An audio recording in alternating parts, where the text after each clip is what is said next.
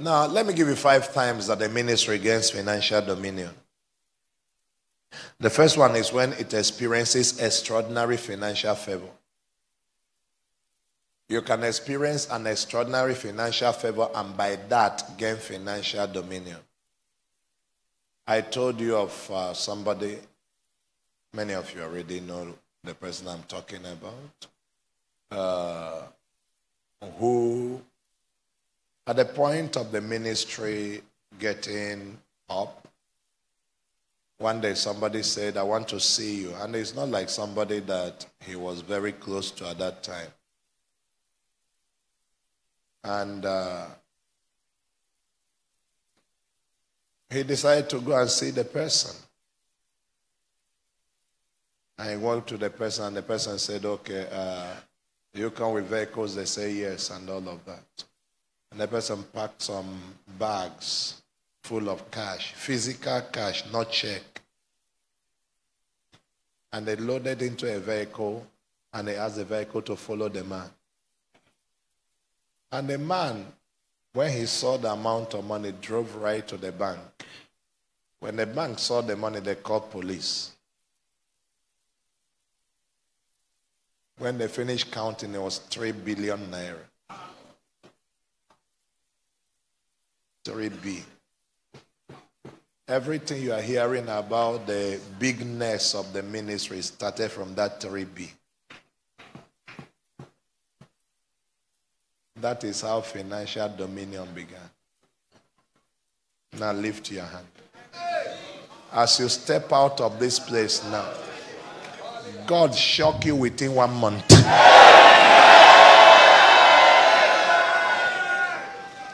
So, uh, I said the first uh, way a ministry can gain financial dominion is by experiencing extraordinary financial favor. Just like the story I gave you. Another one is when its membership grows astronomically. When your membership grows astronomically, you experience financial dominion. Are you here? You know, uh, I've told you in business, that's what they call the lifetime value of a customer lifetime value of a customer. The lifetime value of a customer is like this. Uh, I am selling uh, this thing now. And Mr. A is a builder. He needs this regularly. So he comes around and uh, he goes to the other man. The other man tells him this is 5,000 naira. He goes to a person, he says to him it's 5,200. He goes to the other one, he tells him it's 5,100. He comes to me and I tell him it's 4,005. Now, I am selling with a gain of only 50 naira. These other ones are trying to sell with big gain. So he buys from me. He's happy. He goes back home. And then the next day he comes and buys again. Next day he comes and buys again. Next day he comes and buys again. Because what he's working with is cheaper than what others are. So he's getting more customers and he keeps shopping from me.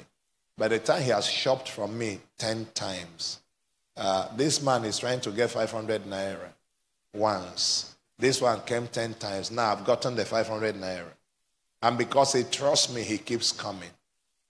He keeps coming. By the time he's been with me for more than two years, I've made about five million from him. You're not with me. Now, these other ones who wanted to get 500 at once lost him. He never came back. Are you still with me? But my not making quick gain from him, keeping him for long, made him a lifetime customer. That's what happens to churches that don't raise too much money. That's the difference between young churches that raise money quickly. The young churches that raise money quickly have money to buy land very fast. The pastor buys a car very fast, but they don't retain members. So the lifetime value of a customer never translates to wealth for their church. They just want people to give because the person is in a hurry to live a big life. But if the people came to the church and the pastor calmed down and they just acted as if he ignored them, and where his friend is making five million, he's making just 500,000 and no challenge, and the people stay. The lifetime value of those people giving week by week by week by week by week for 20 years is more important than what he can get at any point. You are not hearing me. So the more you multiply that number of people and they keep giving. So people say, ah, that church, eh, they don't have money. That's at the beginning. The more the crowd gathers and the more they are consistent, you will find out that money becomes natural. That's why many of the prophetic churches they have money quickly and they fizzle out quickly because they keep asking. You are not hearing me here. They keep asking. But if you keep building membership, you will find out that over time you will have financial dominion. Number three, the third time a ministry gains financial dominion is when it develops multiple channels of income. If you develop multiple channels of income, you begin to have financial dominion. Some ministries just stay on tithing alone. Some ministries stay on raising money alone. But there are others that begin to build schools, begin to build one project after another, that can begin to bring in more sources of income. Over time, as the ministry gets bigger, those things begin to sustain the ministry. If you're here, say yes. yes. If you go to somewhere like the United States, churches like the Catholic Church, people are not giving offerings and anything much anymore because it's a post Christian uh, society. You're not with me. You see, the only reason you think America is a Christian nation is because you're in Nigeria and you relate with Americans because of preachers you know. But those preachers you know, nobody knows them in America. No, you are not hearing me. Is anybody hearing me? And most of the ones that are known have no voice. They just play with the society and compromise with everything. You are not hearing me. Do you see the riot that happened in America last week when they canceled abortion, something in the Supreme Court? Huh? Can you go online and check all the big pastors that you know if any one of them made a statement in support of, of uh, ending abortion? Just go online. Go go anyone that you know. The reason is that America has gone into a post-Christian era, and most of them are scared to talk. Because if they talk, they lose their income. If they talk, they call them haters, and people scatter their ministry online. So they just keep quiet. Have you seen any of the American pastors you know preach against homosexuality? Huh? Those who used to preach against it seven years ago, ten years ago, today, ah, they don't talk, they don't go there at all. It's not a discussion.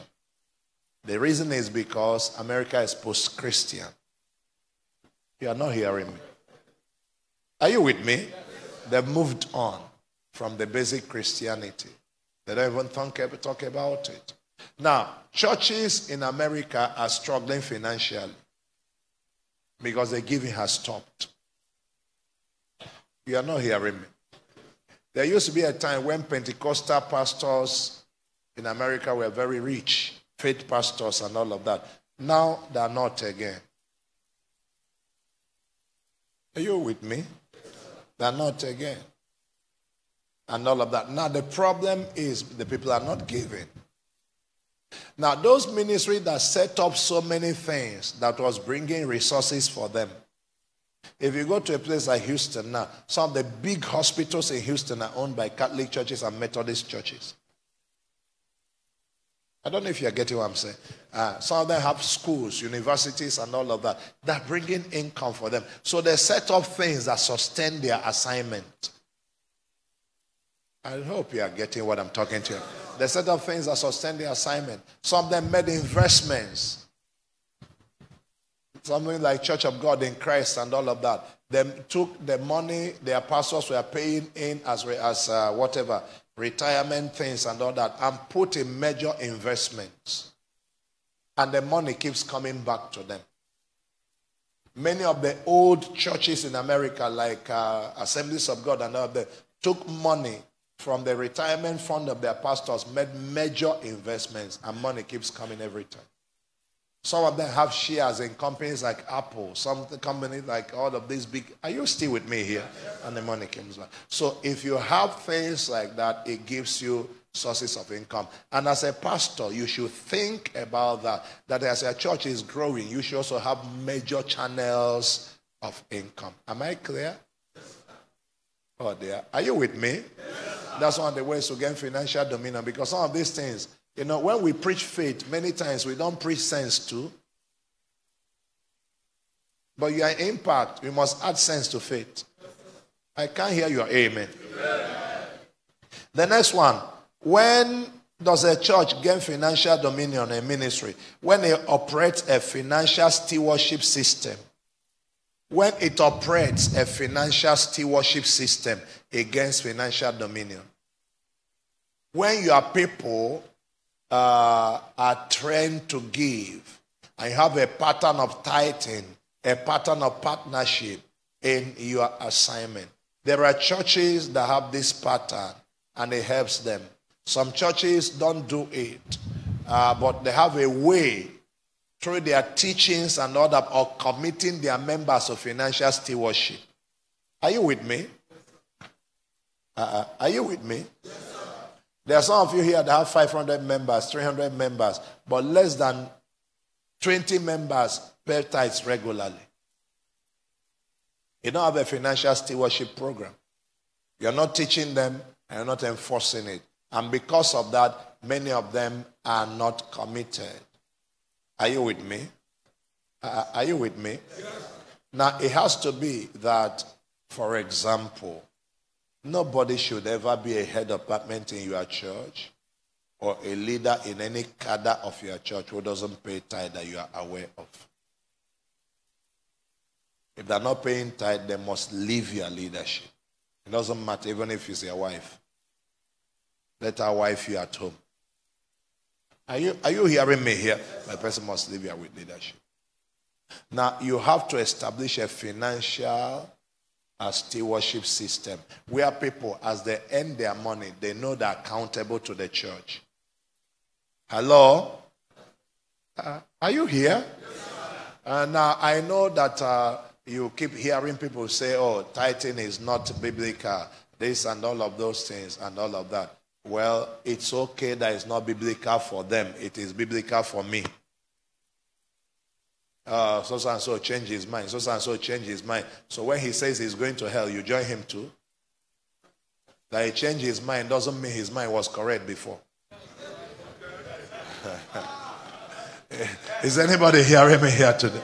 We don't change because they changed. We know what we believe and we are persuaded in what we believe. He wasn't persuaded before. Am I talking to somebody here? So don't get into any of those trash because uh, I know people keep sharing things online. Oh, so, and so. He said tithing is no longer real. So, and so. He said seed did not work. So, and so. He said pastors are eating too much money. So, and so. Everybody is talking their own. Now, all I'm asking you to do is this ignore them. And set up a system in your church and preach what you believe. Oh, dear God. Is anybody hearing me here? One of the things that hurts young pastors is not knowing what they believe. Know what you believe and stand on it. Are you with me? The people that know, even if you are preaching something that is not right, at least let it be that you are convinced. Uh, don't you see some of these uh, people that preach all manner of things? Carry bag and Bible and come to your house and harass you every morning. Eh? And sell uh, uh, a wake up book to somebody who is already waken, woken up. You are not, is anybody hearing me here? How can you see me? I am awake talking to you. Tell me to buy awake. Was I sleeping when you came? Is anybody hearing me? now, now, now, but do you notice the boldness with which they preach their wrong doctrine? Ah? Huh? Look at the Mormons who believe in a new Bible. And they will leave their countries and come to Nigeria. They will spend so much. The ones from Nigeria will spend their own money. Do you know that no Mormon missionary that comes to Nigeria is sponsored by the church? No. According to their doctrine, as you are growing up, you are saving to have at least one year of mission work. So every of those white people you come to Nigeria, they pay their flight, they pay for their feeding, they save for that one year journey. Is their missionary assignment. Everybody must do their own. You are not hearing me. That's a stewardship system. Am I wasting my time with you? They teach them until he grabs them. Now, with their wrong doctrine, they do all of that. Sir, now you, you're afraid of you preaching something. People will say, ah, nah, eh, I don't believe in tithing. If they don't believe, you believe. Set up the system. Are you with me? I don't believe in first fruits. If they don't believe, you believe. Set up your system. Inside that church, there were people who would die hard believers. You are not hearing. There are people who are die hard. I told you of a man that was attending this church. And uh, he wasn't born again. The wife was born again. He wasn't born again. And then one time he followed them, he came to church and had me talk about tithing. And he paid, he went back, packaged tithe and paid. And something supernatural happened. He had a breakthrough. And he began a practice of tithing. He traveled to the US, met another man, and he told the man, when they were talking, the man complained about the business they were doing together, how some things were this. He said, You are the problem of this business. His partner in the US said, What do you mean? He said, You don't pay your tithe. The man said, You they go church? He said, I know they go, but I they pay tithe. Where do you pay? He mentioned gateway. They called me from the US. Because the man now, he had to convince the man. He said, if you want us to continue in this partnership, you must start paying tithe. I don't want devourer in my business. Is you are not hearing me. I mean, that is this. I told you of the Muslim man that called me and said that he wants to start paying tithe. I said, Excuse me. He said, You're my father in the Lord. I must pay tithe there.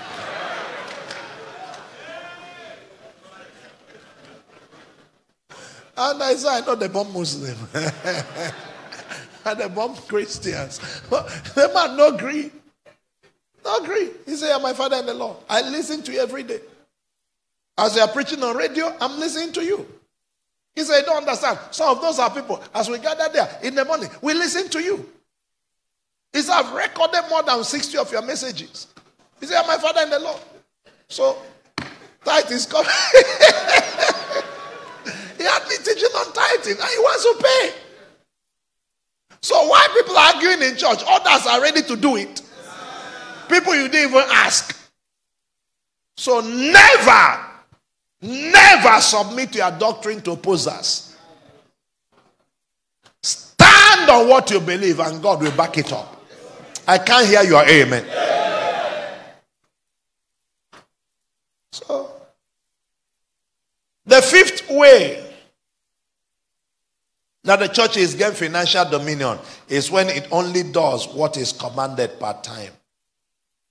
If you're going to get financial dominion, you do only what is commanded part time.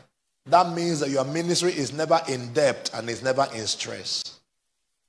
It's never under stress. Why churches, some of them are not in financial dominion, is because they're in competition. A small church that is growing uh, doesn't have to have a billion naira to have financial dominion. Financial dominion at your level means that every need you have is met. Come on, are you hearing me here today? Is met with comfort. Now, at that point, what helps you to meet every need comfortably is that you only do what is commanded per time. You are not busy competing with A and B and C, trying to outdo the other person. No. You do what God asks you to do, and you celebrate it and you move on. Are they hearing me? now, the moment you begin to do that, you begin to see the revelation of the grace and the power of God. So I say to you, there are five things Five times when a ministry gains financial dominion. Number one is when it experiences extraordinary financial favor. Number two, when its membership grows astronomically. Number three, when it develops multiple channels of income. Number four, when it operates a financial stewardship system. Number five, when it only does what is commanded per time. Question is this these five things I just mentioned, which one is applying to you? And how many of them are you working on because you want to gain financial dominion? Because many times all we do is pray, pray, pray, pray, pray. But these are the things that help a church gain financial dominion. Are you with me? I know our income when we are a thousand. I know when we are two or three thousand. I know when we are four or five thousand. I know when we are at that level. And I know our income as we rose higher.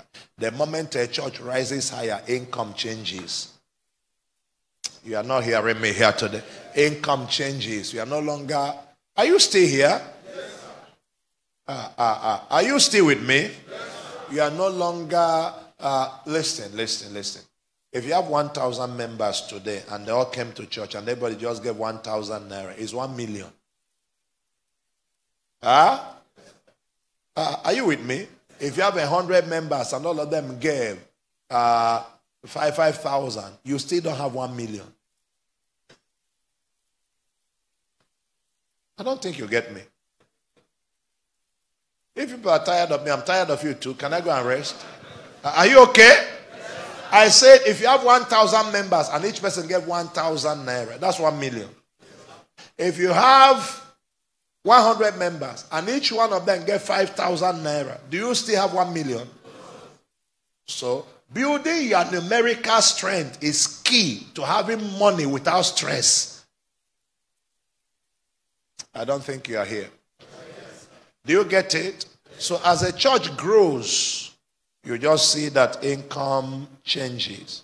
And then uh, you do what is commanded part time, you operate a financial stewardship system, and you develop multiple channels of income. Now, now, now. Praise the Lord. Uh, let's go to another thing. And uh, I, am not going to stress you. I'm just going to get into a few things now and then we begin to minister to you. Somebody tonight, your story will change. I thought you would say amen better. Let me give you five, fin- five plat, faith platforms for financial dominion. Five faith platforms for financial dominion. As we are living here today, I want you to pray these scriptures all through this month over your person, over your ministry, over your church finances. Pray them over this. You may have other ones you've been praying before. Add these ones to them. Luke 22 35. And he said unto them, When I sent you without purse and scrip and shoes, lacked ye anything? And they said, Nothing.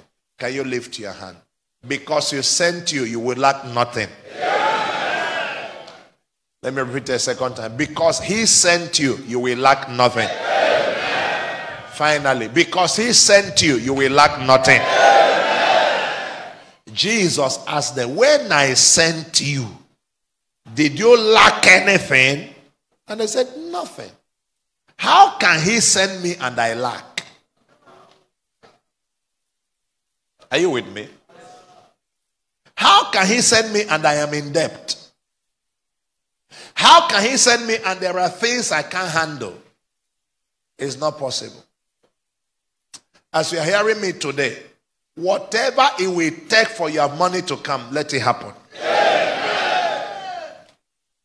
Second Corinthians 9 8 to 11. It's and God is able to make all grace abound toward you, that ye, always having all sufficiency in all things may abound to every good work. You can read the remaining part of it, but this is my concern. Please get back there. Everybody look at it. If you are still alive and breathing well, can you point to that scripture and declare God is able? Come on louder. God is able. God is able. To make all grace. I say point at that scripture and shout God is able. God is able. As you are pointing, let that be your point of contact. God is able. God is able. To make all grace abound toward me that I always having all sufficiency in all things may abound to every good work. Shout amen like thunder. I want you to go back with the mentality that this verse is not an exaggeration. Please put that back on there. I don't know what you did this place empty for. Put it back on. God is able to make how many grace? All, grace abound toward you. That you. Do you, do you notice that word? Always. That word is a, a, a key word. Always. Somebody say always. always. So anytime you are not having all sufficiency, something is wrong. Always having all sufficiency. In how many things? All things may abound to how many good work? Brothers and sisters, it's either Paul was writing hyperbole here. It's either uh, exaggerating God's capacity or this is possible. Is it possible? Oh, there, there. Is it possible? So we're going to pray it today. If God is able, then let God do something. I can't hear your amen. How can I be coming to church and uh, pastoring, walking under his authority, and the cattle on a thousand hills are his own, and even one leg of cattle he can't give me? Yeah, no, yeah. Is anybody hearing me? They, they, tell me that my father owns a cattle on a thousand hills, and even one toe of a cattle I can't find. I don't, I don't think, I don't think it will happen. Is anybody hearing me? It's not going to happen. It's not going to happen. Because I know how I treat my children. Believe me, I know how I treat. Sometimes I even feel bad when I finish doing some things for them. As I hope I'm not overdoing it. I know that my children, I want them to be happy. Come on, are you with me? Uh, are you with me? Yes. I want them to be happy. My daughter was, was traveling a few days on Sunday uh, to the US. I said, What do you want to do? He said, Okay, I'll just take a few days holiday, and then from there, I take some, uh, go for a week in Canada, see a few friends, and then come back to the US, and then come to Nigeria, and all of that. I said, Okay, God bless you. And then, of course, somebody called from the US and said, I'm going to pay her tickets. So they paid her ticket, she left. And uh, before she was going, she came to me and said, Daddy, won't you give me money? And she had a budget. And I gave her mother about twice that budget. Now, I did that just to spoil her. Just to make her feel like my father is El Shaddai. Are you hearing me? And when she left, I sat in my room and I told myself, I said, can God do something like this? Seriously, I just said and was saying, can God do something like this? Uh, does anybody here think God can do that? Do you think it will give God pleasure to just spoil you a little? Huh? How I felt that day, do you think God can feel like that? Then let it happen for you. Before the last day of July, let it happen for you. Before the last day of July, let it happen for you. Before the last day of July, let it happen for you. Before the last of July, let it happen for you. So it's possible. Amen. Amen. And it, it doesn't take much. Praise the Lord. Trust Him. Trust him.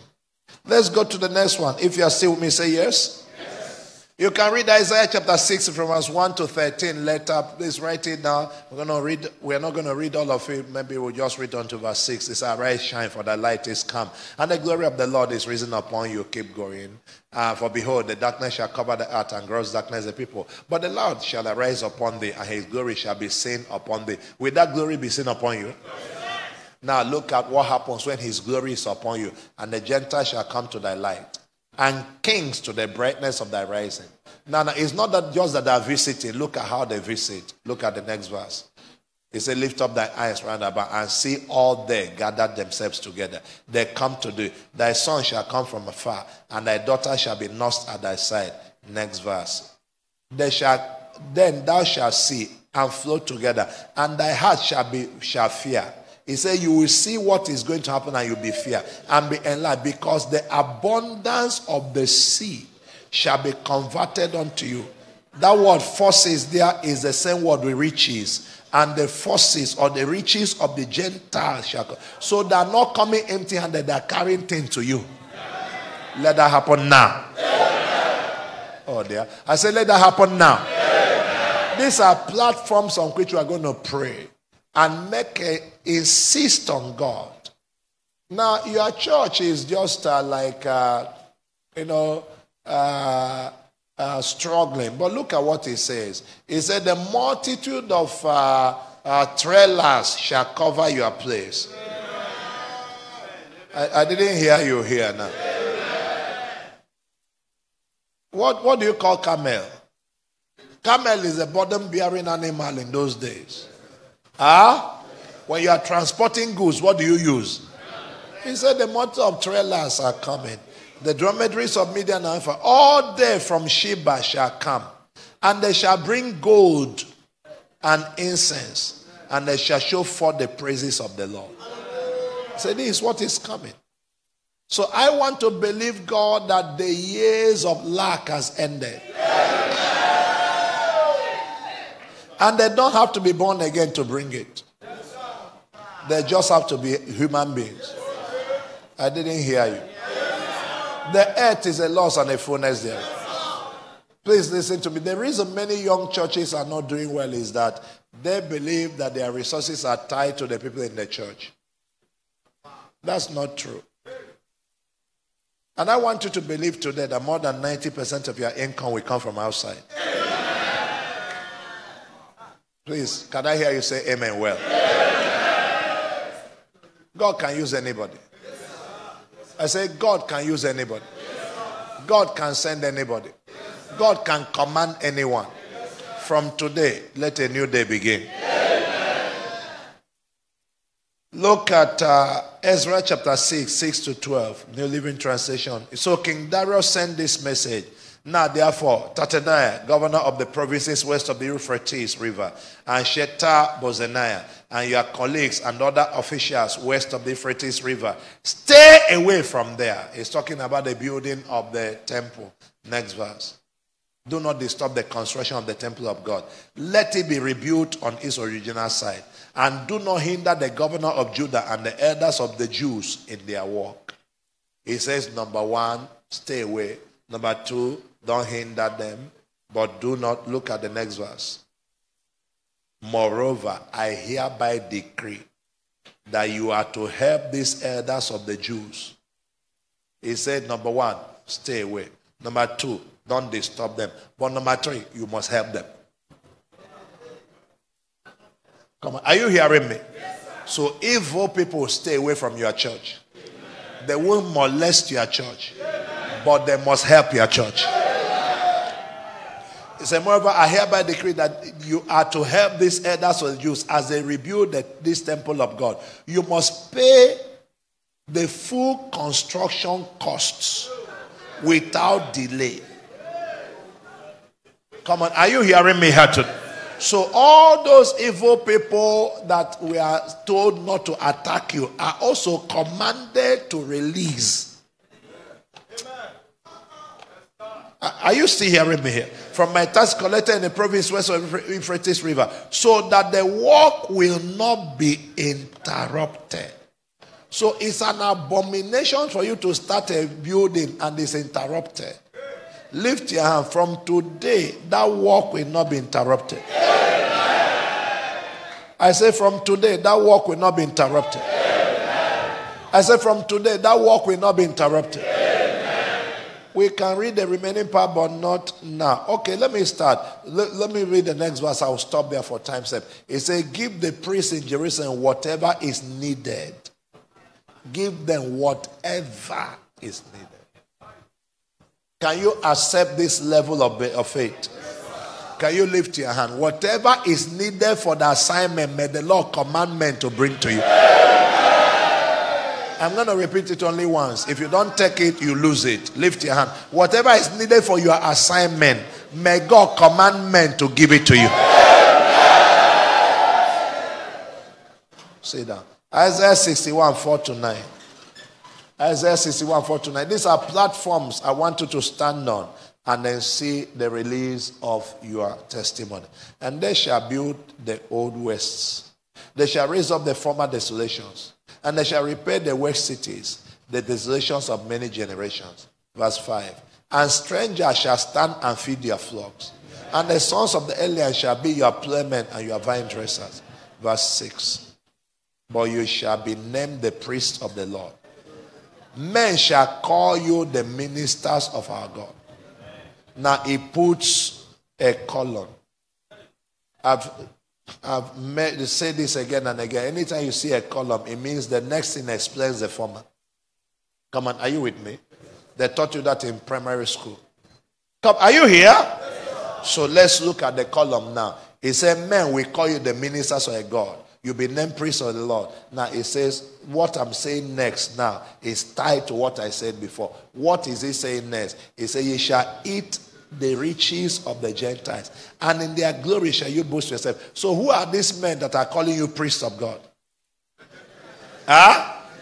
Gentiles.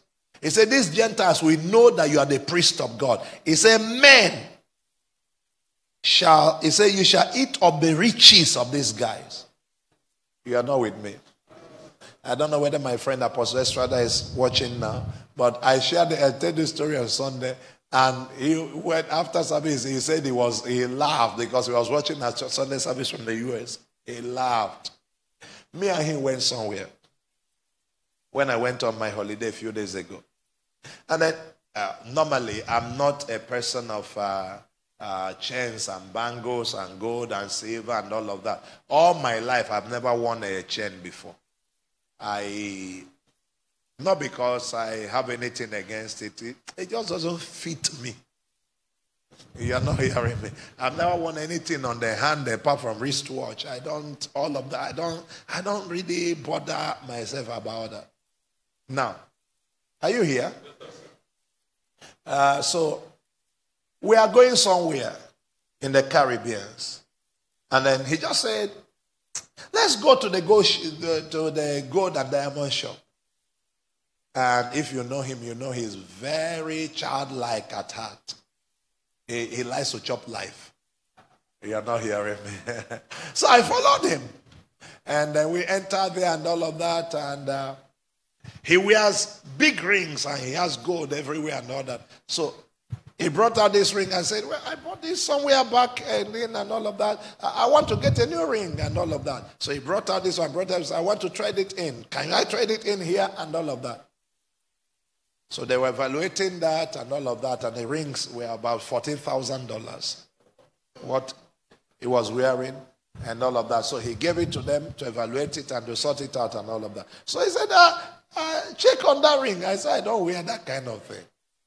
I said, Where I come from, that is called iniquity. I said, That's called iniquity. Uh, I said, So uh, where, is, where he was talking, so I went and picked up the something. And I asked him, How much is it? He said, $27,000. I said, Ah, $27,000. I said, Well, I said, It's cheap. As if I used, if I was wearing things like this, this is the kind I would buy. But since I don't wear it, even if I buy what will I do with it? Are you hearing me?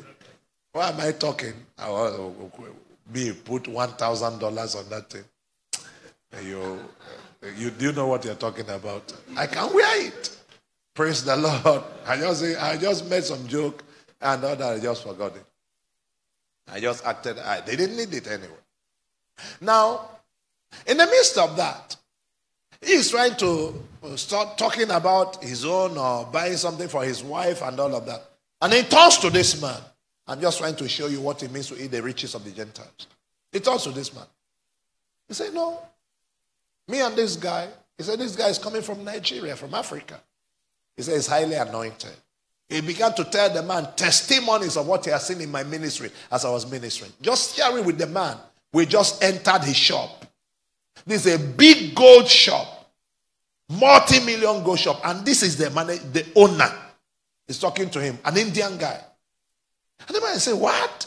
His son, also working with him, that is going to take over the business. Look, he said, What? He's telling him about what he has seen in my life. And he's talking about what God has done in his life and all that. The man is listening. We finish. He said, It's a blessing that we came to buy from you. We finished, sorted out his own thing and all that. And we wanted to go. I didn't buy anything. We are walking out. And this man that we came to his shop, checked out and we didn't buy. And we are walking out. The man called us. I said, Come back here. You people are ministers of God. You need to bless my shop and wrote a check of $2,000. I said, Take and bless. Nobody asked him for a dime. Just walking into a shop, you didn't buy and you collected 2000 No, you didn't hear me. That's a good way to chop life. Do you understand that favor speaks? And when you carry it, you actually carry it. Am I talking to somebody here? When you carry it, you actually carry it. Receive grace. So they will call you the priest of God. Why did that man release that money? He called us the priest of God. And we ate the riches. Did you get it? That's your portion. And then, for time's sake, I'm going to close very early today because I've walked my body and I don't want to take things for granted. Are you with me? And after this, many of you that have tried to see me, I've not been able to see you. If we close early, I will talk to one or two of you, and then before five o'clock. And then when I'm done now, we can take a few questions and then wrap things up. Is that okay? Uh, is that okay? So I can sit down and be able to rest and all of that because uh, the journey is still long. Uh, is God doing amazing things? Many of you didn't join us in the vigil on Friday, but it was brutal on the devil.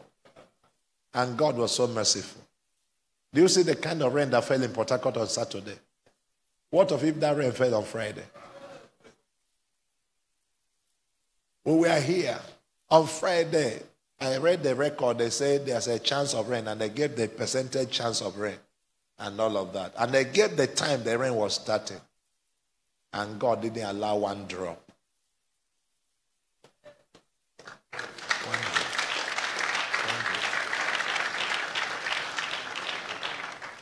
Those thousands that were gathered in the different overflows.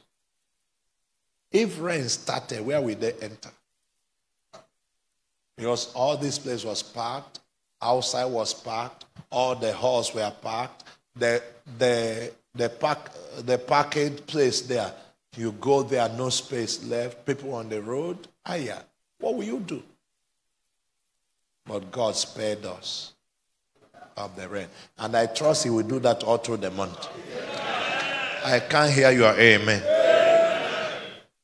God helped us. And I believe that it's a brutal time for the devil. I thought you'd say amen.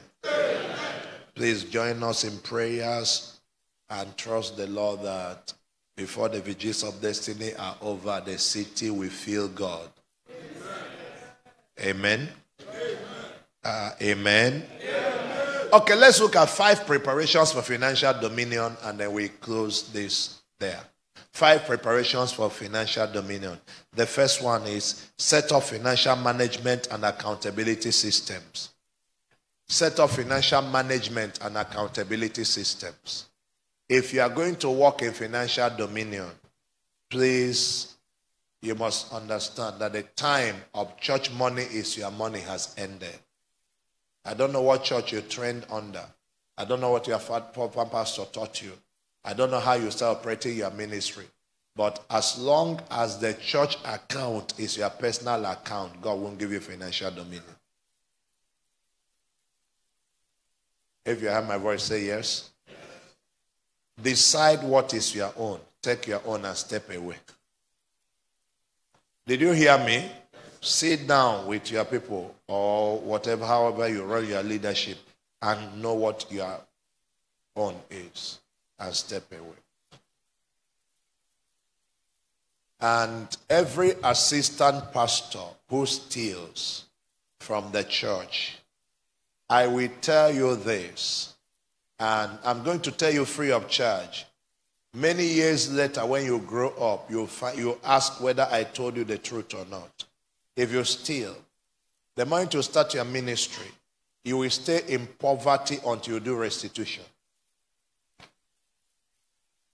If you think I am lying, there are some people here today who, where they are financially now, is embarrassing them.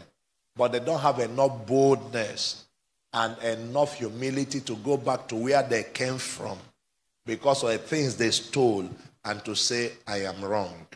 They put in every effort. They fast, they pray, they do all kinds of things, but they will not see the level of financial breakthrough they want. Why? They're thieves. That record, go back. Sit down with your pastor. Tell him, sir, when I was here, this is what I did. I am sorry, and I want you to pray for me. Let him pray for you and release you. If they hear my voice, say yes. If you don't do that, you will say, ah, I don't believe in restitution. What you believe doesn't matter. What is reality is what is reality. He said, But God has forgiven me. Uh, God has forgiven you. You will go to heaven, but you'll be poor here on earth. The way you're looking at me.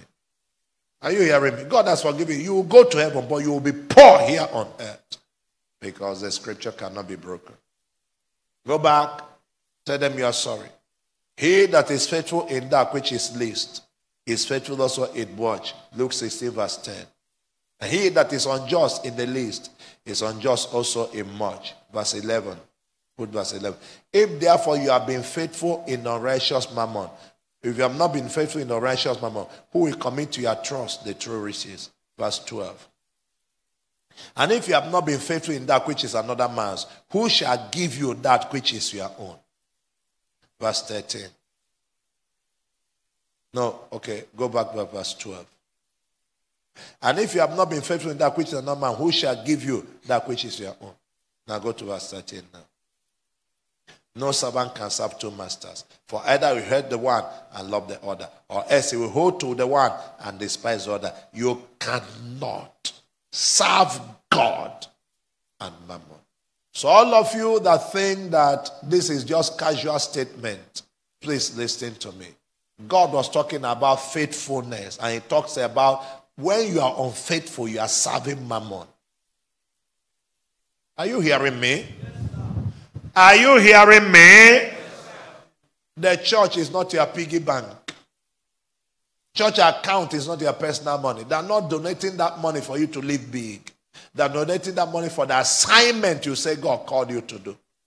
Your marriage is not the assignment. Your father's house is not the assignment. Please don't wreck your future with a little for today. Because what God is bringing is huge. Every time you see people who are very, very, very effective in ministry and yet their finances are meager, they are touching what is not their own. And anytime you start stealing, prepare for a hard life. Uh, is anybody hearing me? Are they hearing me? Anytime you start stealing, prepare for a hard life. The moment you touch, you start stealing, this favor becomes normal. And you don't need the things you are stealing to have. You don't need it. Cut your coat according to your cloth and walk with God. And then begin to live by faith. And God will always make sure the provision is there. I didn't hear your amen. amen. And when you grow bigger, the money will be there.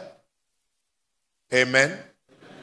But a lot of people, you know, anytime I said to you earlier, anytime you notice somebody who is always looking for something that he cannot afford at this level, very soon the person starts stealing. You are not hearing me here. The car you can't afford, hate it until you can afford it. Anytime you say, said, nonsense. You are not hearing me. Hate it until you can afford it. Not that when I mean hate it, I don't mean say nobody should buy it. Because when it comes to your mind, say, nonsense. I'm not buying it now. Why don't you buy it? It's not because I don't have money. I just don't want to buy this car. A day is coming. You walk into the place, you sign one check, it's done. Receive that grace. I can't hear your amen. The second preparation for financial dominion is multiply membership and raise men instead of money. Multiply membership. Raise men and not money. Teach them to be wealthy. Teach them to do business. Spend time in raising them. Just multiply membership. That's the preparation for this financial dominion. So many of the people that you run to, anytime you're talking about financial dominion for pastors, all they will tell you is simply God is going to give you favor. But, brothers and sisters, favor is only a platform, favor is not a pattern. No, you didn't hear me. Favor is not a pattern, favor is a platform. And when God gives you one favor, He expects that you can take that favor and create systems that will sustain it. Oh. Are you hearing me? A businessman, God gives you a favor. You hit a business and you make your first 20 million. Fine. God expects that that 20 million, you sit down, plan on how to invest it.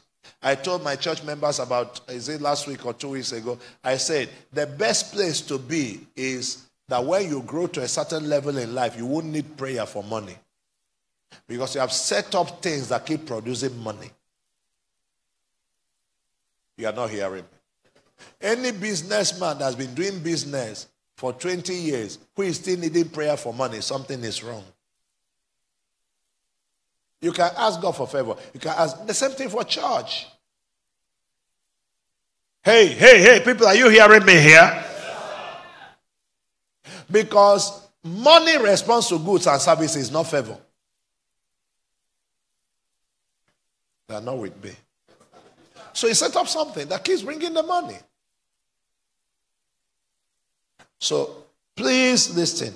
Build, multiply membership. If you grow the church, if you intentionally, hey, hello, are you here? I told you many years ago. A young man, a bishop here in this Port Harcourt, came to me and he said, Pastor George, uh, I don't like the way you pastor. I said, Sir, what is it? He said, Look at the crowd I saw in your church the other day. I, came, I didn't know he came around the church. He said, You are not making them give. So you're always struggling financially. I said, Who told you I'm struggling? He said, No, you are not living at the level you're supposed to live. He said, If you allow me one Sunday, just, in fact, I am inviting myself. I said, laughing. I said, No, you're not coming. He said, No, I went so and so, I raised money for him. I went so and so, I raised money for him. I was mentioned what he raised. He said, I'm coming to church. When I'm finished with those your people, anywhere they hide the money, they'll bring it. He talked. I said, You're not coming. And I never allowed him to come. If he came, I didn't notice because I ignored him. You're not hearing. When you come around and nobody welcomed you, won't you go? Or can I tell you something? That his church has collapsed. It has gone down. You can't keep treating people like that and succeed. Anybody you see in your church now that looks like he has money, you ask him today, ask him tomorrow, ask him another day, ask him another day. Even if he's Dangote, after some time he starts dodging you. When you notice that some people in the church now don't pick your um, of call, distance has started being created. Be careful. Build men. Don't raise money and erase men, no. Teach them, challenge them, push them, let them grow, and give it time. Give it time. You're not rushing anywhere, and you're not dying today. Are you planning to die this way? You will have these things. Praise the Lord. Praise the Lord. And believe me, over time, you have money and uh, you are not struggling. Because some of you are sitting here now, by this time next year, you are in your own house. And then gradually the journey becomes easier. You are not hearing me. Do you know there's a time you come in your life, you look around, almost everything that makes a person comfortable, you already have it. The only thing you are living for now is how to help people. You are not hearing me. Is anybody hearing me? That's what you are living for, how to help people. How to make sure that the people closest to you also enjoy life. I want to spoil my children. I was asking my last son. I said, ah, Have you been driving? He said, Of course, he has been driving. I wanted him to go and learn to drive. I didn't know he had started driving. I said, Okay, let them go and get you a driver's license. Why? Because earlier in the year, the senior sister came around and said, uh, I don't like my car again. That day I need a new car. I looked at the car. If I dash it to some of you now, you you you you with somersault. Beautiful car. I said, why? He said, the way they used it and all of that when I was not around. I don't like it. I have two options quarrel with her or not quarrel with her. But I'm a Shaddad. and I have the cash. So I bought a new car. And the brother came and said, Now that she has got a new car, I want this car. That my children, are you?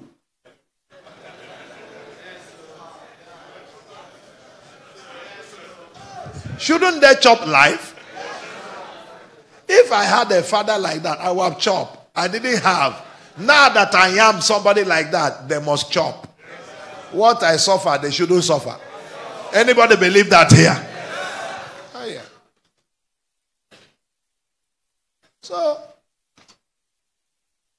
I told him to take the car. Sent it to them, work on it, put it in good condition, change everything that needs to be changed. Let him have a car. So right now he's a car owner. Wouldn't it be good if you're in secondary school and own a car? Wouldn't it be good? Uh, but I couldn't have done that 10 years ago. Not that this church was not here then, but I had too many things that were on my list that time. Many of those things are not on my list again. That's how life goes. Do you understand what I'm talking to you? Many of those things are not on my list again. So I can afford to squander a little money Is that okay? I can afford to do some things I couldn't do before because all the things that were there are not there. And I'm not a covetous person. I don't need everything around the world. The ones I have, what am I using them for?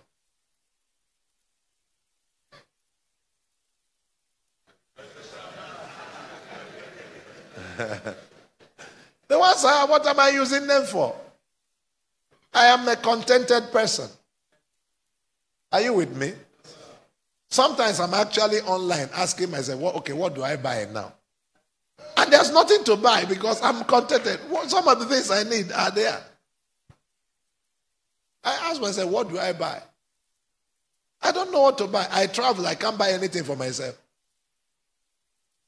Because anything I need, people give me. You are not hearing me. Anything I need, people give me. So why do you have to struggle? Why am I sharing this with you? Because you get to a point in your life. What you are thinking about now is a, it's just a stage. It's a stage. Give it time. Am I talking to someone? Give it time. You look back, it's not there. I stretch my hand toward you. May God command exceptional release for you. Give it time. Even your income level will change with time. Are you with me?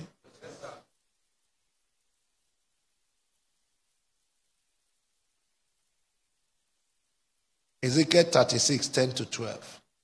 He said, I will multiply men upon you and all the house of Israel. Oh, it's really 3.30, so I'm going to stop in a few. Just write it down. Ezekiel 36, 10 to 12. Number three.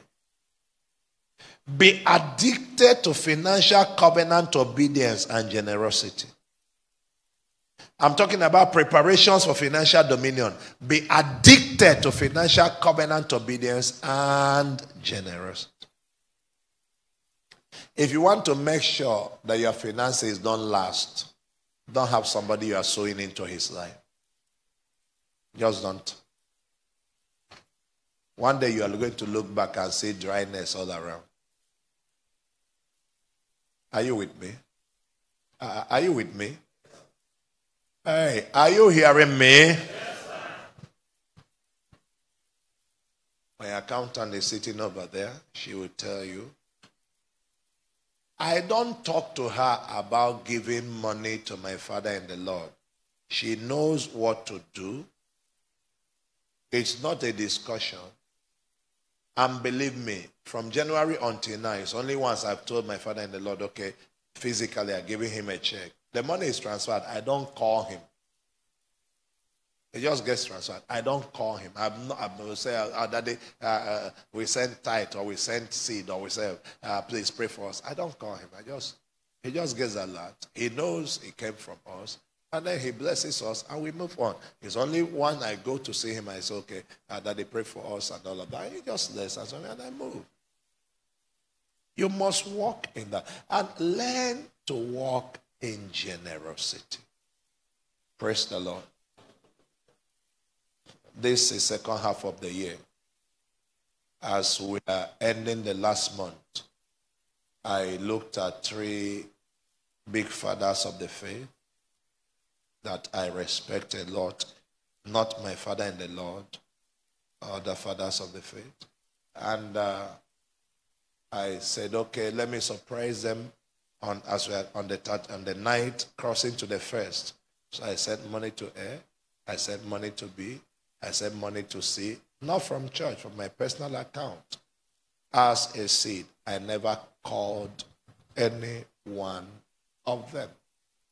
And then in the night, about 1 a.m., no, about, yes, 1 a.m. going to 2 and all of that. One of them, one of the big men in the nation, he called after he saw the alert. I was already sleeping. I saw it in the morning.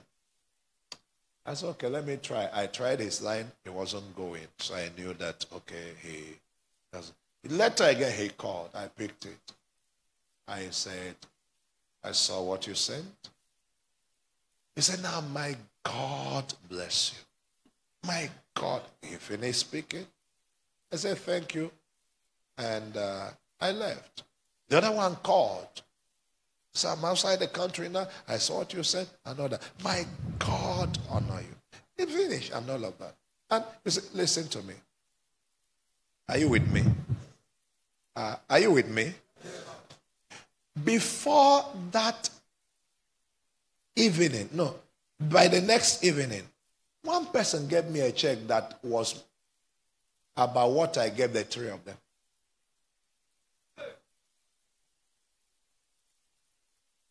As I moved again, within the next day, somebody gave me another. Eh, oh, no, you don't understand. You say, I know this thing works because it consistently works for me. May it work for you. I thought I would hear a better amen. Why do you think I was joyful in giving my daughter the money? Because I got something. And when you are happy, you are you release. Come on, are you getting what I'm talking? When you're happy, you release.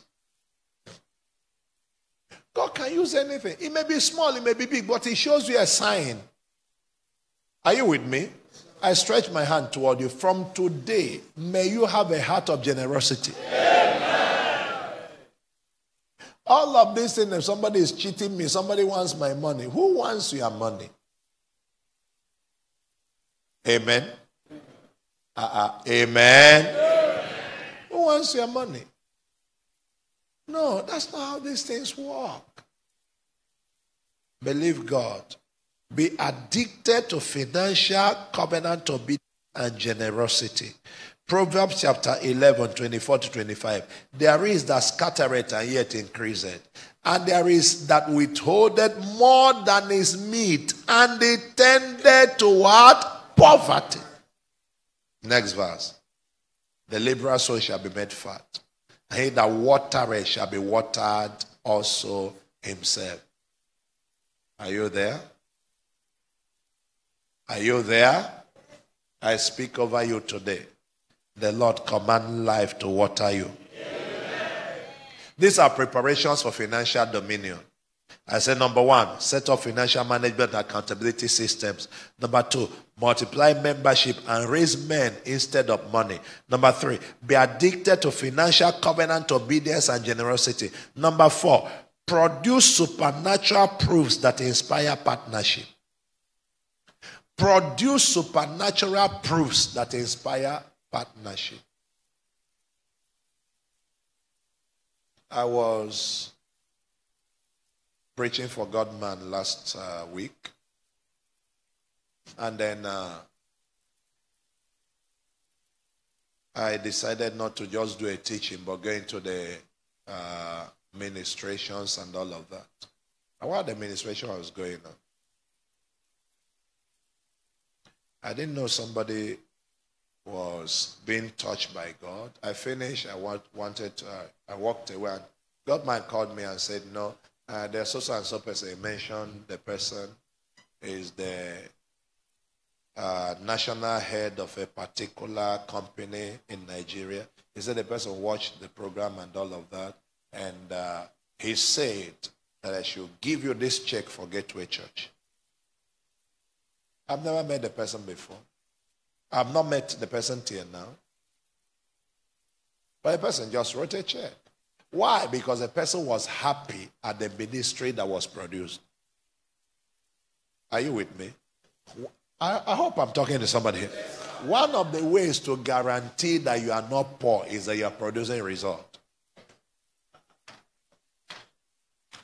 As long as your ministry is creating miracles, you can't be poor. They are not hearing me. The moment you are not producing results, you'll be begging for relevance. You'll be begging for help. People, are you hearing me? People don't give money to church because they like pastor. They give money because it's an investment. They saw fertile ground. Hey, are you still with me? They saw what? Fertile ground. They give. They trust God for that. Praise the Lord. Hallelujah. Praise the Lord. We I finished a service one day here. I was driving, going back home. I got a text, and somebody said, I'm a pastor. I mentioned the state where the person is in the U.S. He said, I just watched their program now. And uh, I feel like God wants our ministry to be paying tithe to you. And I say, Is that true? He said, Yes. He says, Send me your personal account. He said, We'll be paying tithe to you. You just watch our program. Even this evening, tithe came from them. It can't be tight on me. You are not hearing me. Are you guys okay? That if you produce result, you can't be, it won't be tight on you. Stop begging. Begging has no honor. I have never appealed to anybody since this church started for help. You didn't hear me. There's no father of faith and no mother of faith and no helper of destiny have appealed for assistance since Gateway started. Produce result, you have assistance.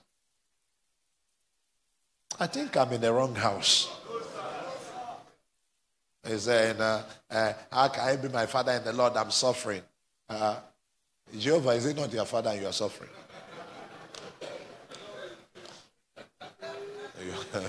you are not hearing me. People, people, people are just very spoody. You say, How can George be my father in the Lord? I am suffering. He should help me. Is Jehovah not your father and you are suffering? Has he helped you? I won't help you. Go call police.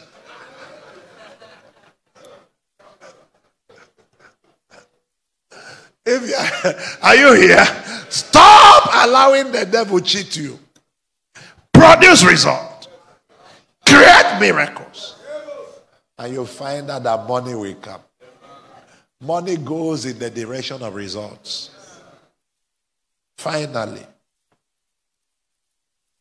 Finally. Engage in territorial warfare until the land submits its riches.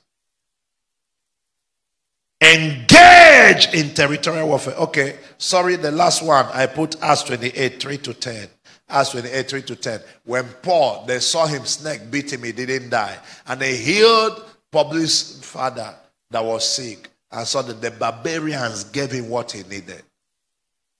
Acts chapter 28, 3 to 10. That's for number four. Number five, engage in territorial warfare until the land submits its riches. The land must submit its riches. Engage in warfare, fight. And uh, Pastor, in uh, this land is very hard. There is no hard place, and there is no soft place. Every land needs contention. If you go to Lagos today, as beautiful as Lagos looks to be for ministry, there are pastors in Lagos who can't pay their children's school fees. Is that true? Suffering as if there is no God. So there is no place that is easy. You can be in the village and be poor. You can be in the village and be rich. There's no place that is easy. If you have my voice, say yes. A priest was in Elele and turned Elele to the visiting to the pilgrimage center of Nigeria. In fact, at a certain time, from all of West Africa, people were coming to Elele.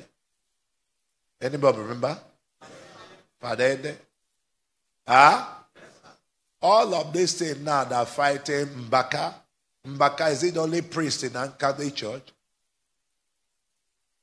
Inside village, See the thousands upon thousands that follow him inside village.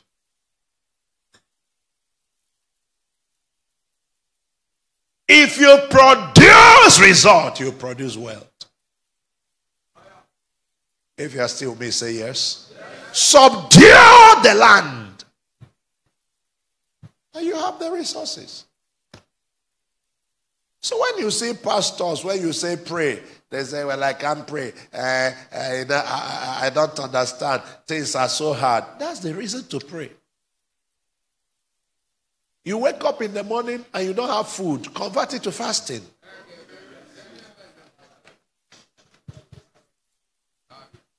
You are not hearing me. If you make a vow today that you never ask anybody for money, God will show up for you. Come back. Pastor, how do you know? I did it. It worked for me. I won't beg, I won't borrow, I won't lunch.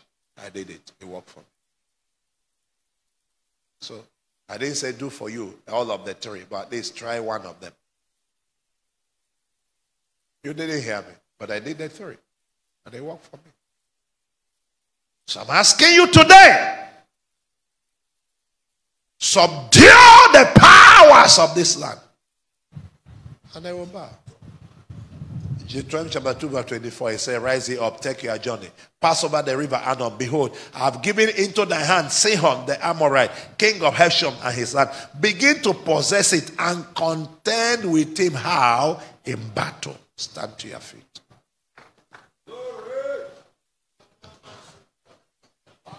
Lift your hand. Let me hear you say, My Father. In the name of Jesus, I receive grace of financial dominion. The land must submit to me. Open your mouth and begin to speak right now.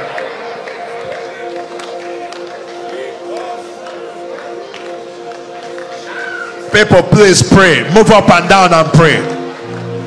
Don't be one of those sitting down and sleeping. Pray. After now, you said God didn't help you. Get up and pray. Sleep is not as important as your destiny. Get up and pray. Move around and pray. Your leg is not broken. You are not that tired. Move around and pray, man. Get up, sir.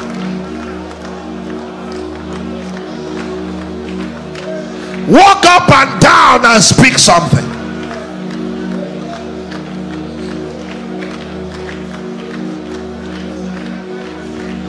Musicians, get on to worship.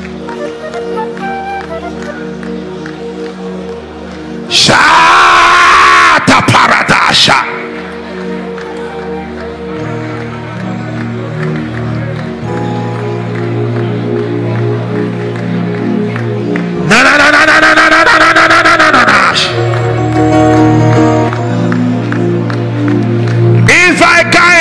your voice take care portion. Shout amen like thunder. Okay, let's start from something very simple. Lift your hand and say, My Father, I believe in the blessing. Tonight, let your blessing rest upon me now. Open your mouth and cry out for that. I believe in the blessing.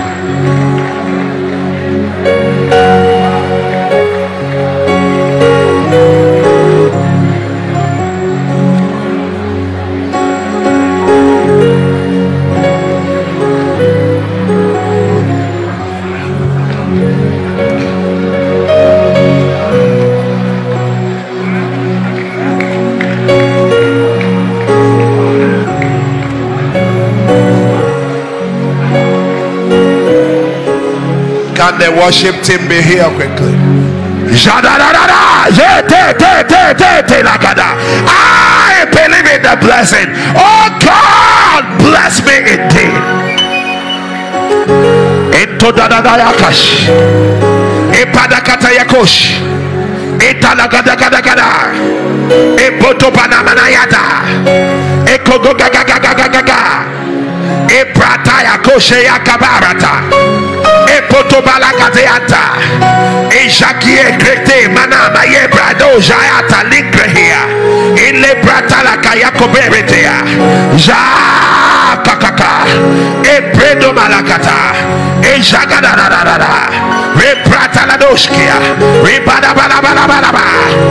somebody shout amen.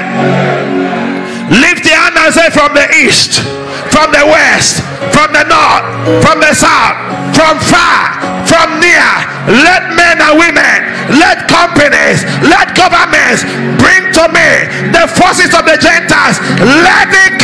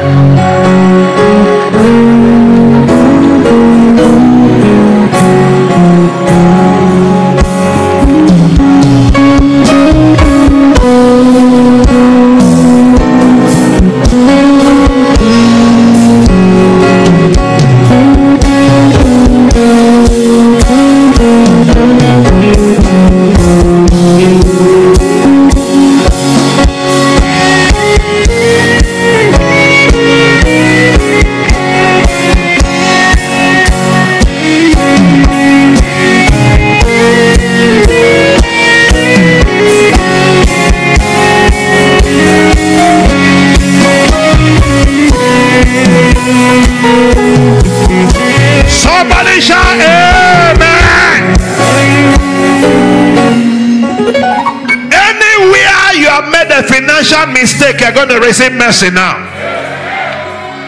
You know, somebody was talking about some of the teachings. He said, Am I not the one that raises the money? I am the one working in that location. I'm the one working in that church. I raise the money. Listen. Even if you are the cashier in a bank or whatever, and you went out and got customers, you are the one that went to do marketing and they brought money. And you are the one that sat down there and counted the money and received it there. If you touch one naira out of it, you can go to jail for it. The mentality of a fool is what destroys the fool. That you raise the money doesn't make it your own. No, you didn't hear me. That you are the one in that location doesn't make it your own.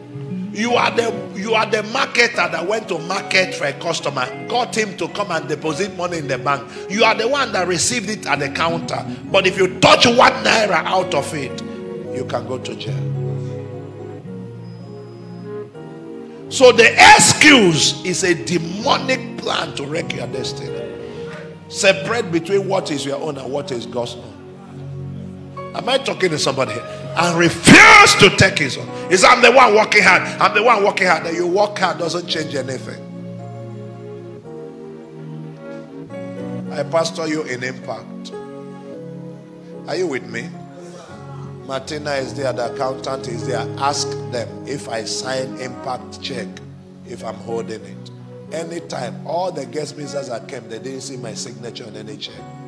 They signed it and gave it out. I don't take any dime. They didn't give me 10 kobo honorarium from Impact after this. But when you gave me your seed, that was my own.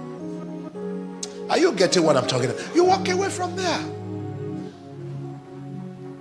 You have to know what is your own and what is not your own. Am I wasting your time? You have to know. No, but I'm the one. I'm the convener. This and that. You are the convener, but if you want the covenant to remain, stay away. Stay away. Lift your hand above your head and let me hear you cry to God and say, My Father, I come to you by the blood of the covenant. Forgive every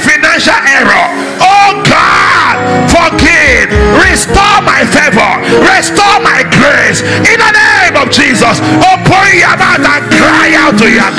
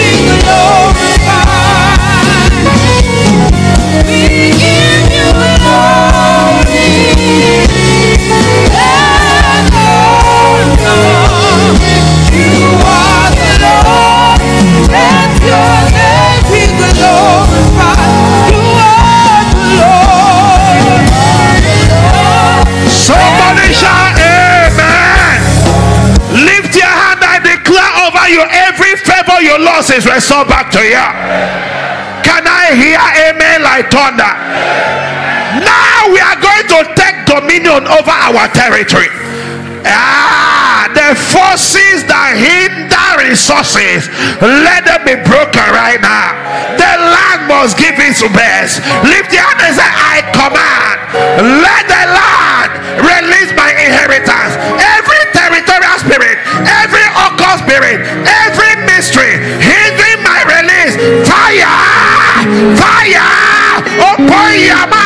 break that mystery. Sataradash karadasha. Impatadadaba open your mouth and take authority. Yeah.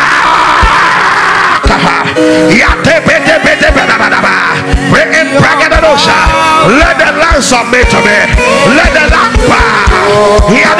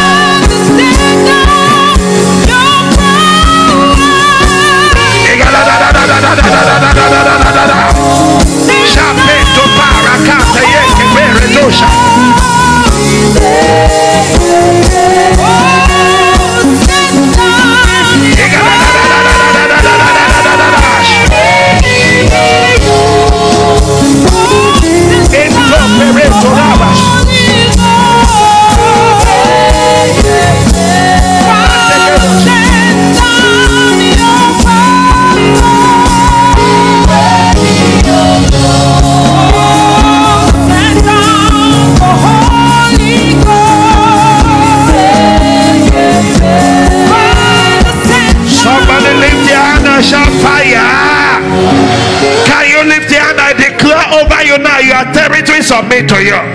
The businesses submit to you. Companies submit to you. Government submit to you. Institutions submit to you. Let them release what you need in the name of Jesus.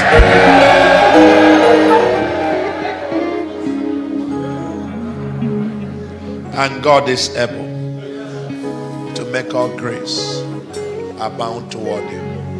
That you always, having all sufficiency in all things, may abound to every good work. Please lift your hand. If that scripture works, let it work for you. And I know it works. Oh, dear Jesus. I know it works. Let it work for you. May you see all grace, miracle grace, financial grace. May you see all grace, teaching grace, crusade grace. May you see all grace, leadership grace, social impact grace, family life grace. May all grace abound toward you. May you have all sufficiency in all things at all times in the name of Jesus Christ. As you live here now, I invoke extreme favor.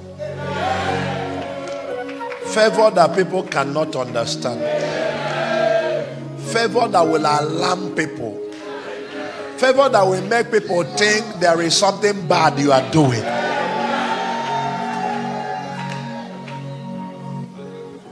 Is a way you will be rich as a female minister. They're wondering what, what are you giving the man giving you the money?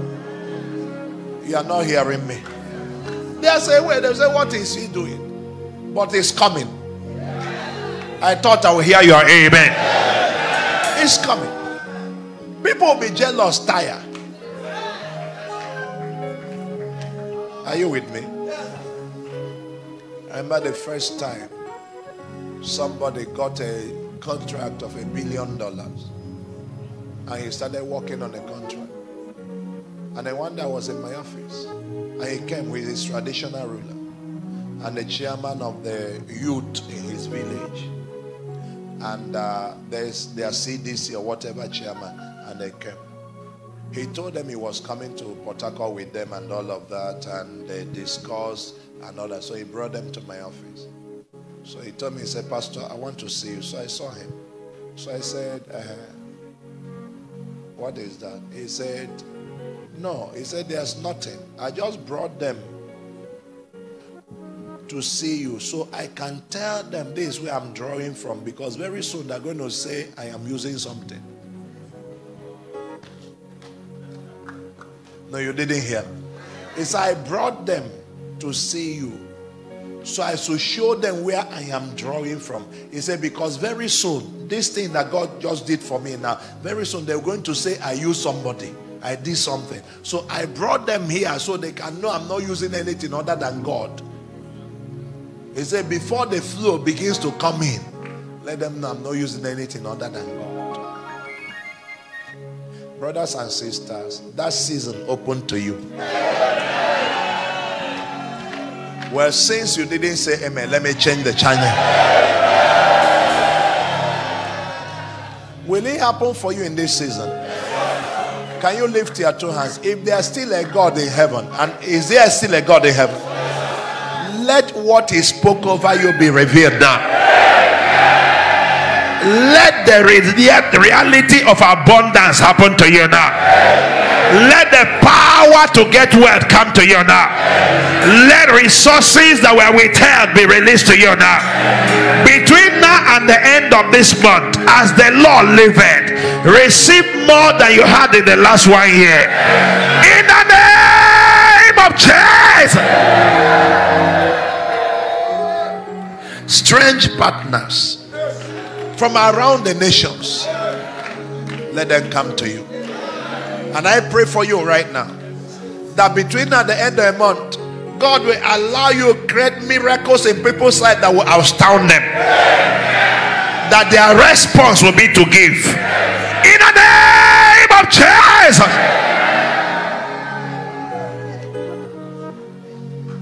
This month of financial dominion. May somebody have at least two cars given to him or her. Just one, one person will receive at least two cars to show that this is a different month. May lands be handed over to you. As the Lord liveth, before whom I stand, you will not be here at the at the meeting next month without a proof that money came. And let it be drastic. Devourers are rebuked. No more dry hand. It is done. Give the Lord a clap as you get it. As we are closing now, let me, those of you who are sowing a seed or giving you a tithe, can you come very quickly, very quickly, very quickly? I've, I've really spent more time than I thought I will. But if I close you by three, we have looked odd. Is that not so? We have looked odd. So I had to keep trying to teach. Please, every one of you, just shake my hand in the name of the Lord. Go in his grace. Let the glory overshadow you. Let there be the testimony of the Lord upon your life in the precious holy name of Jesus. Let it be said that God lifted you. Let it be said that He showed you help. He showed you mercy. Let it be said that you had ease in this assignment. In the precious name of Jesus. Let every declaration of today be established over your life, over your assignment. In the holy name of Jesus. Receive the help of the Lord. Receive the ministry of the Spirit of God. In the name of Jesus. Let the blessing that you have believed for abound with you. In the name of Jesus, I command testimony. Let it be fast. Let it be easy. In the name of Jesus, let there be enlargement of coast. Let there be a special touch from heaven. In the name of Jesus, let the blessing come upon you. Let it abound with you. In the name of Jesus, I command your answer I command your testimony in the name of Jesus. Go in the power of his grace. Go and have your evidence in the name of Jesus. Let help come from everywhere, from anywhere, by the power of the Holy Spirit. In the name of Jesus, you will not lack. You will not need to beg or borrow. In the name of Jesus, the Lord command financial abundance in the name of Jesus. The things that were difficult for others become easy for you in the name of Jesus. The partners that have not been there multiply right now In the name of Jesus, see ease in your journey. In the name of Jesus, see help for your next level. In the name of Jesus, see a dimension of prosperity you didn't think about. In the name of Jesus, the Lord show you help. The Lord show you lifting. The Lord show you the touch of his hand. In the name of Jesus, you won't struggle to rise. You will see exceptional ease in ministry. In the name of Jesus, receive what God has planned and receive it immediately. The blessing is upon you. In the name of Jesus. Somebody shout, Amen. amen. Two program announcements. Number one, Asaba will be in August. Asaba people, I don't know if any one of them came today. So if they're not here, maybe we'll go to you. But Asaba is supposed to be 16th, 15th, and 16th of August. I am sure that uh, uh, they have stopped doing uh, sit at home. If they're still doing sit at home, I don't know how I'm going to get there on Monday 15th. But they should tell me now. So I don't uh, uh, promise what we cannot deliver. But Asaba is supposed to be 15th and 16th of August. Yeah, 15th and 16th. So please prepare for Asaba. And uh, this is the first meeting we are doing outside the country since COVID. And that's South Africa Impact. It will be on Tuesday 20th and Wednesday 25th September. Anyone that wants a visa uh, whether you have traveled before or not, see Martina. And uh, we are trying to make sure that you won't need to appear for the visa. Uh, we've actually talked to them. We are waiting for their reply. Are you with me? So if you send your passport and you pay the fees, I believe you can go with us. The way we do it is we don't pay anybody's flight on, now you go pay your own. Are we clear? When we get there, I will stay with you until the weekend. Then we try to assign you to different churches of the pastors that come. We always appeal to them to take the people to preach there. They'll give you an honorarium as they please, and you start building relationship. If you want to stay longer, you stay longer. Are you with me? I go from one church to another, preach there, come back. But if you are going to look for money, you are going to fail. If what you are going to is to build relationship, you go there again and again. That's why I just told you now about lifetime value. Come on, are you with me? Those of you who don't have resources, that's a problem. You just want your money immediately and all that. You know, checking how much you spent. But those who go there and build relationship, they're the ones that keep traveling after. That's what you need. Am I clear? Uh, uh am I clear? Yes. So try and work on that. You say, well, I don't have money now. That's what is called investment. Invest in yourself. Travel. You have been landlord here for too long. Landlord, travel and see. Praise the Lord. Okay, so now there's some of you that bet some vows. If you haven't made any for impact, please do. Whether it's 1,000 a month, or 10,000 a month or 5,000 a month, please do. This journey we're taking to South Africa, we are still the one to provide for our hotel. We're still paying our flight. We're still getting the everything we need there. Every time we go to different cities, we hire our own hotel. Are you with me? Uh, uh are you here? We are not uh, going there because we are looking for anything from them. It's still the same pattern we are using, we are using there. In fact, South Africa is even worse because if you are going, I'm not going with my musicians, so we have to hire musicians. The last times we went there, all the times we went there, we hired musicians and all of that. So please be part of sponsoring this. And by next year, we'll do UK Impact. And please get set to travel with us. Start applying for the visa now. And we are trusting the Lord very soon. We'll just start moving. We are tired of just running around here. I think I have to raise your bar. Even if we can't go to UK, let's go to Ghana. Let's go to Togo. Let's go to Uganda, Kenya. Next year we must do Kenya Impact. Are you with me?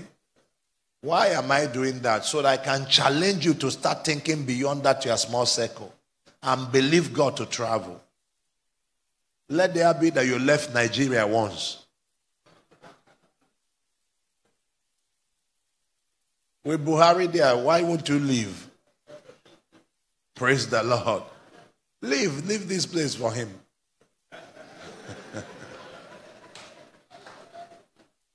Praise the Lord. So please, let's do that. Okay, the phone numbers are going to put on the uh, screen for you in case you want to reach any one of us.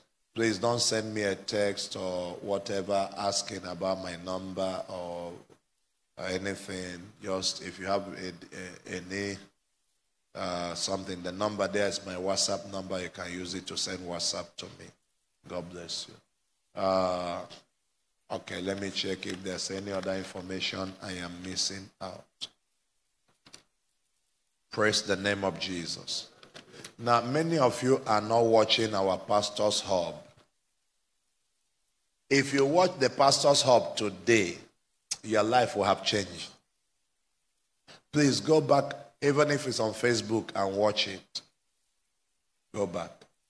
Just go back. Even if you are watching, you can scroll through to the last 10 minutes of the discussion and find every Tuesday, whether we have impact or not, we'll do a discussion section called Pastor's Hub for one hour on YouTube. It is a life changing time. I teach more there than I even teach sometimes in impact. Because it's a question and answer, it's a discussion thing. So I want you to please be part of it. Somebody who is with us, shout amen. Okay. Now I have a question. We can take it in the next few minutes. We close. So I think I've tried my best. Yes. Two, three, and four. Okay. Five at the back and six in front. Seven over there. Eight. I don't think we can get close to that, but if I don't count you, think I don't like you. So we'll count all of you. Anywhere we stop, we stop. Number one is this way. Okay. Oh, sorry, I forgot. You are supposed to make a presentation. Can you come around and do that now? Go ahead. thank you very much. I'm Evangelist Fable. I want to ask this question. This happened to my ministry last two weeks ago. There was a one of my member, her son went to the bush, and something took the boy on the leg, a very big stick, and the thing has not come out since then. And when that thing happened, the boy doesn't know when the thing happened. That something took him on the leg. So when he came back, he, began to realize that he have a wound on the leg. So after pressing it uh, hot water and take some drugs, thing did not still come out. Then they came to me for prayer. And before they come to me, the thing have even scratching the boy, even getting wider, as if it's a poison. So what's the question? So after I pray for them, finish, I anointed oil. The thing came out the next day. The, the, the wife now took the thing to their pastor, said that uh, it is their pastor's prayer that did it. So what, to, what can I do? Now, praise the Lord. Uh, it is their pastor's prayer that did it. It's not your prayer and stop looking for glory. If you start looking for glory in ministry, you won't go far at all. The only person that deserves glory is Jesus. Anytime you pray, back off. Even if people are trying to make you look like a big man of God, walk away. The moment you start having the, the atmosphere of I pray, something happen, you have finished your ministry. That's why some people you hear of today, you won't hear of them of in five years. They are great men you had many years ago. The moment they became great in their own mind, they were done. It's only a question of time and God will just move on. But the person that keeps asking for mercy is sure to stay for long. So never, never, never again think in that area. The moment you pray for them, while they're coming to say thank you, you're saying thank you, Jesus. They're saying to you, you are great. You're saying, no, I'm not anything. No, it's just Jesus using me. Am I talking to somebody here? And you need to know yourself enough to know that. And that will help to keep you humble throughout your ministry. Number two. Where's number two?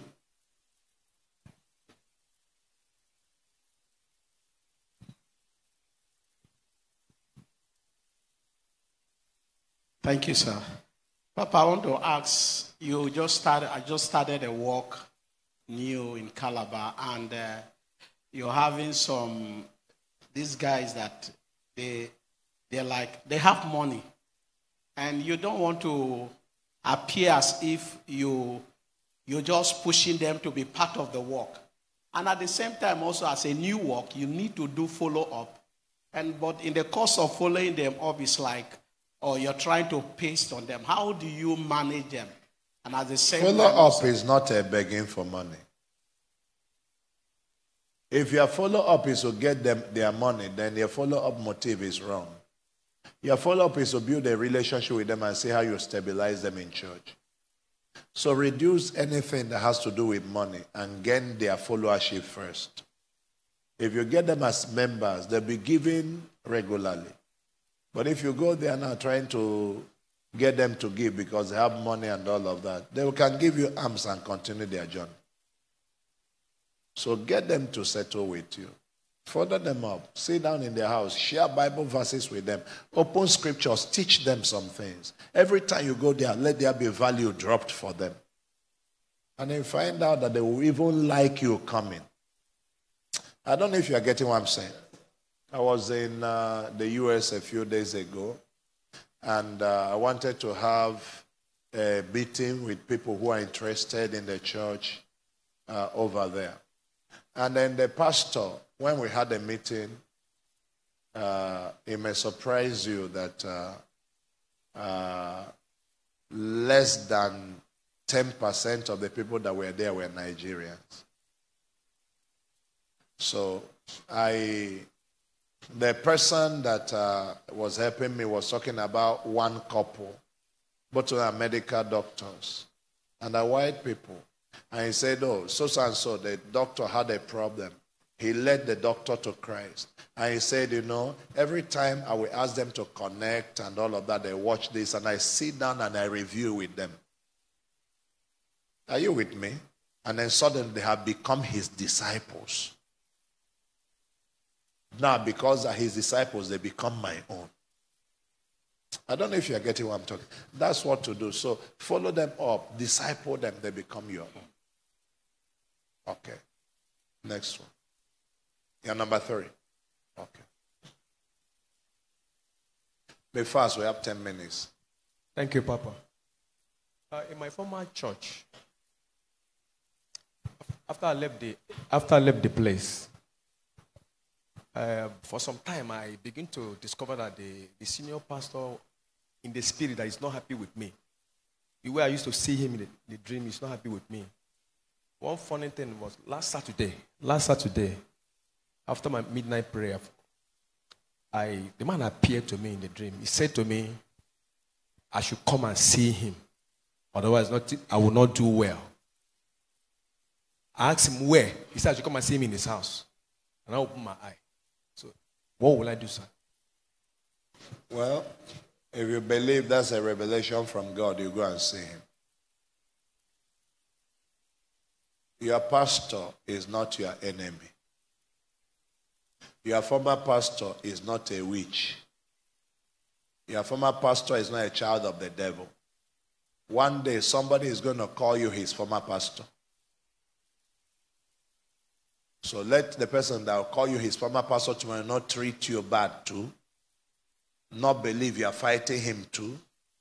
Am I talking to somebody here today? Because these things we sow, we will reap. oh. Go to him. Take a seed, bless him. Go again, take a seed, bless him. Go again, take a seed, bless him. The seed may just be fruits you bought and brought to him. May just be drinks you brought to him. It doesn't, you can't give beyond what your level is. But keep that regular. And then just bridge whatever gap is between you and him and move on. You don't need any battles. A pregnant woman does not fight. When church is small, don't engage in battles. Praise the Lord. Next one, quickly. Are you guys too tired? Are you hearing what we're talking about? Yes. Papa, thank you, sir, for this privilege. My name is Desmond, Pastor Desmond. Um, I have two questions. Um, the first is um, as we engage in, in evangelism, it's a new work. Uh, there are people who, although they are not the ones I'm preaching to, they just say, Ah, I don't even have a church. They come around. So I share with them, say, Pastor, we'll come. But I don't get to see them. Sometimes the day before, on Sunday, I call and call. Ah, they just have one reason to give. About three, three families like that. So I'm wondering what's the issue. The excitement at the place of evangelism does not translate to them coming to the church eventually. What do I do? Uh, you keep going, you keep praying, you keep taking authority over the atmosphere. Listen, I've said this again and again. Any human being that makes decision easily is not a serious person. Coming to church and settling down is a serious destiny commitment. People think it over. Those of them that jump in very quickly, after some time, they just jump out. Allow them make the choice and keep showing them that you are worthy to be their pastor. Go again, go again, go again, and keep blessing them. After some time, they begin to know I can trust this guy. But never give up. Is anybody hearing me? Yes, sir. And don't think that because you went there one week and they haven't come. Even if they come today, it doesn't mean they're going to stay. There are people that have come to Gateway here again and again, and it took about five years of continual coming before they stayed. Are you with me? Every program they come, every program they come until one year they say, let me settle down here. So calm down and be taking authority over the territory. Maybe the territory is resisting you. So take authority, rebuke the territory, and then trust God. They will come. Never give up. Next person, please. Where is the person? Did you raise your hand the first time? Thank you, Papa. My name is Harold Alagwa. Um, nowadays, churches are trying to acclimatize their music by, okay, by copying the worldly sounds and rhythms. Um, I'm really concerned about rap music. What do you really think about it? Is it necessary, or can a child of God do rap music, sir? There's no music that's worldly. There's no dance that is worldly unless it's uh, immoral. Is anybody hearing me? There's no music that's worldly. It's a sound that somebody created. The problem is, what are you doing with that sound? Is anybody still here? Uh, one time I went somewhere and somebody was talking about uh, singing hymns and uh, this and all of that and using all this worldly music. And I said, laughing. I said, is that you don't know the history of the hymns you are talking about. Ira D. Sankey, that gave you Sankey sacred songs and solos, had only one method of writing song, not two, only one. Any music that are there, any music in the state that time, he will write Christian lyrics and replace the worldly lyrics. When people are coming to church, they already have the tune. All they needed is a new word. So as he goes to crusade with D.L. Moody, I don't know if you're getting what I'm saying. Whatever song is reigning that year, he will turn it to Christian song. They were persecuting him for that because it's like copyright infringement, but there's nothing they can do. It's crusade ground. He'll just sing it. So all the Sankey songs you are seeing today we were the uh, tunes of the music that were then in those days. Go read his history. But today we look at it as if there are the holy songs, and the ones people are releasing today are the evil songs. It's just that music changes with season. Are you with me? There's nothing wrong with rap, sir. You can use it and make your statement. Rap is simply poetry. You didn't know that rap is simply poetry. Rap is simply the delivery of poetry. You wrote a poem and you are reading it out. That's rap. So it's not a bad thing. Don't demonize it. Next one, please. All right. Good morning, sir. My name is Frank Lebary. I have two questions. One is on um, we're one year church by God's grace, and um, we are above 50.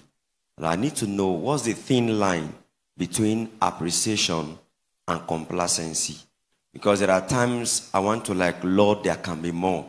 And there are other times I want to like, is it that I'm not appreciative of what we've seen for this one year? That's the first No, question. no, no, sir. no, no, no. I've defined contentment for you guys before. I said contentment is being grateful for where you are on the way to where you are going. A contented person is on a journey. But you are thanking God that you are not where you used to be, but you are now going somewhere. That's contentment. So you keep pushing and you keep thanking God for every grace to push. Thank you very much, sir.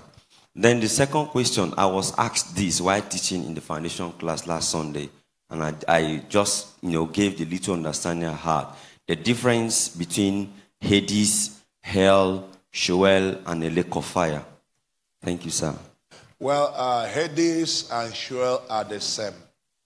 They talk about the place of the departed spirits. Now, when you talk about uh, the lake of fire and all of that, let's explain. You see, uh, the Bible talks us uh, talks about in the place of the departed spirits, there are different compartments. Before Jesus died, we have the what you call the uh, paradise, the place where the saints were staying.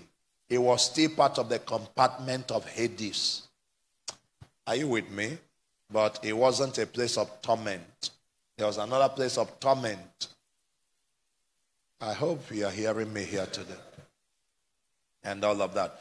But then the lake of fire is called Tartarus. Is where you now uh, empty Hades at the end of time.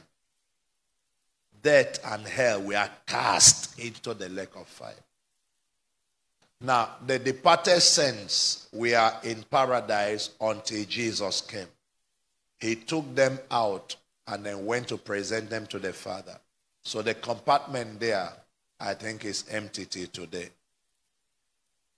I don't know if you are getting what I'm talking about. Are you with me? Yes, That's uh, where the purgatory thing flew from. But that place is empty because Jesus emptied it. I don't know if you are getting what I'm talking about. Now, the uh, Tartarus is virtually the same thing as uh, Gehenna. Gehenna still talks about uh, hellfire. It talks about uh, the burnings that don't end. It's just a picture that Jesus gave because there was a valley, the valley of Hinnom in Jerusalem, where they used to throw refuse and they pour uh, fire into it and it keeps burning continually like an unending fire. So he said the fire is never quenched. It was a picture view of what happens when you throw things into Tartarus at the end. It keeps burning for all eternity. I don't know if you're getting what I'm talking about. So that's the something. So it's just this is when people die, their spirits go to the place of departed spirits. That is Sheol, hell. And then inside there, there's a compartment of trouble where the sinners are kept. And then in judgment, They, it, they are emptied back into hellfire after they're told what they did. That's all. Okay? I think, did you catch it well? Okay, God bless you. I think we can stop at this point so that you can have your time to sleep and those want to see one or two persons can see them. I believe God has been faithful to us. Stand to your feet, please. If you came for the first time, and I, please sit down first.